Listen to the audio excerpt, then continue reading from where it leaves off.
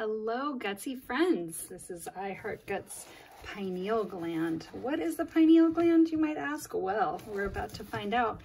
This is a truly oddball toy. Um, the pineal gland, or pineal, depending on how you like to say it, um, is a gland that's deep inside your body and regulates sleep. So this little guy is really important for your sleep-wake cycle. It secretes melatonin, which maybe you've heard of. So let's learn a little bit more about this little green friendly guy says pineal gland, sleep on it, and there he is. Descartes thought that the pineal gland was uh, the seat of the soul, but he was a mathematician, so what does he know? Anyway, let me read this. If your dreams are sweet, think your pineal gland. This endocrine champ secretes melatonin, a hormone that may control sleeping and waking patterns. It hangs out in the middle of the brain, making this sweet, sleepy substance all night long. The name comes from its pine cone-like shape. Your pineal will take you to the gland of Nod.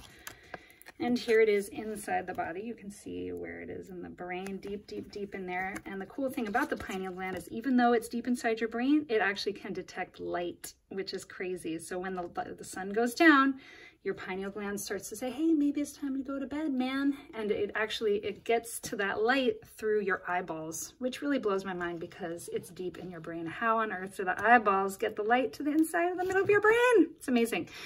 Anyway, here it says location inside the brain, likes melatonin, sleeping, napping, dislikes brain sand, pinealomas. Favorite music is Night Shift by Bob Marley, and it likes circadian rhythms.